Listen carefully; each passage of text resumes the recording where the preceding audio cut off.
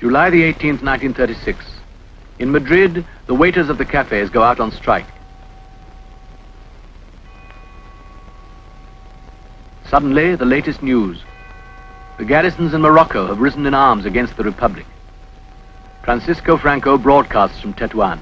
You who harbor the sacred love of Spain. You who are sworn to defend her unto death against her enemies.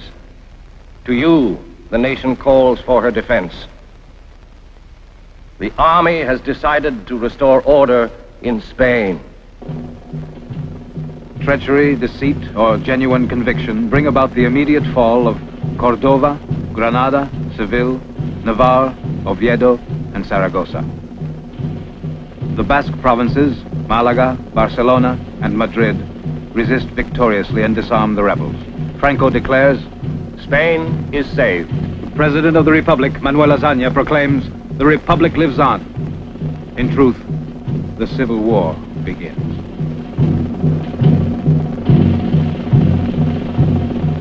It begins with massacres.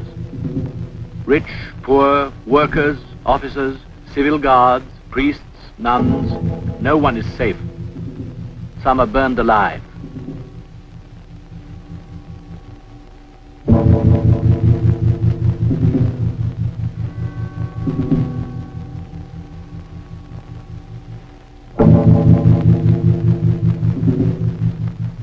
On both sides, passions have reached the bursting point. On both sides, they line up foes against the wall and execute without trial.